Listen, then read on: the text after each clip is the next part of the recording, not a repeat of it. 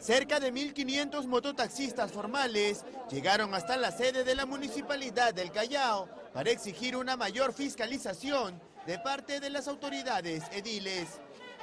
Esto con el objetivo de erradicar a los informales que usan los vehículos motorizados como fachada para robar. No hay hasta ahorita, desde que han entrado este alcalde, han entrado, no, vemos ni una fiscalización, donde que hay piratas, donde no trabajan sin licencia, trabajan sin SOAT, así muchas cosas. Y aparte que salen nos hacen quedar mal los piratas, hay delincuencia, hay muchas cosas, se ven todas cosas.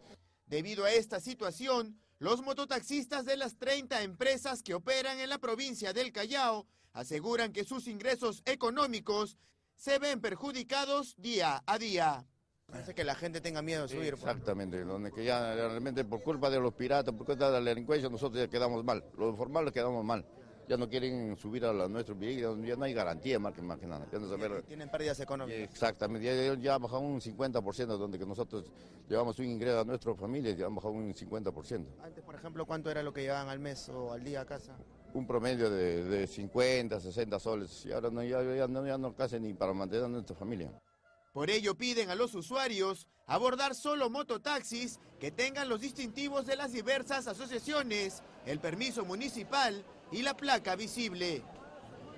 Y aparte tenemos que tener, cada año pasamos nuestra revisión de características que nos dan nuestra, la municipalidad, nuestro logotipo, que dice Municipalidad Provincial de Callao. Un trabajador debe que tener, tiene que identificarse con su licencia de conducir, su seguridad vial, su tarjeta de propiedad, su SOAT, su tarjeta de donde que pasamos revisión técnicas. Pese a estos elementos que los diferencian de los mototaxis informales, los pasajeros viven atemorizados debido a los hurtos constantes.